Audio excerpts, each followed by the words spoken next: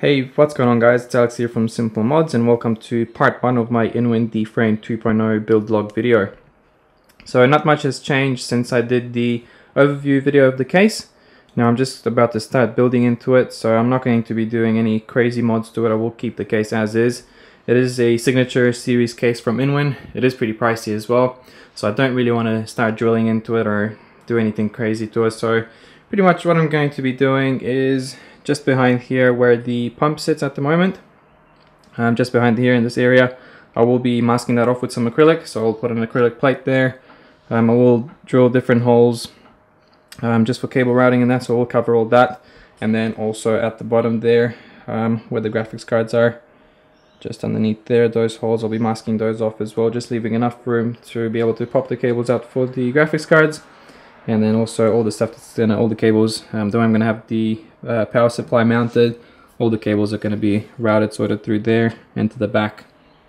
And then yeah I'll try and do something fancy with the cables since um, they will be pretty much fully exposed in the front and the back as well. So yeah.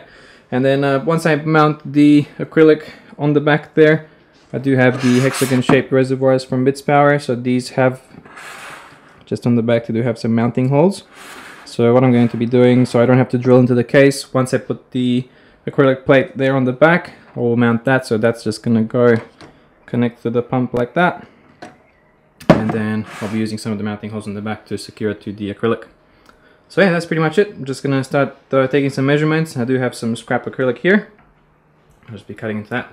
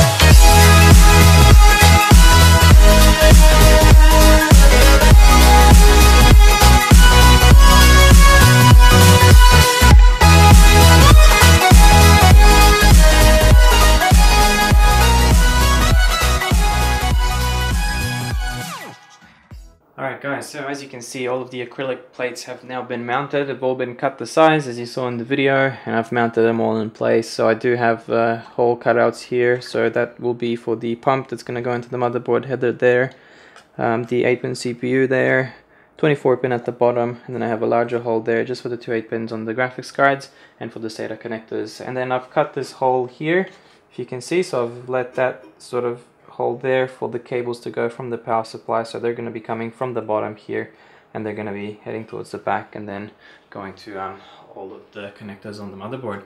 So yeah that's that's pretty much it. Uh, and then yeah also the um, the reservoir is now mounted here.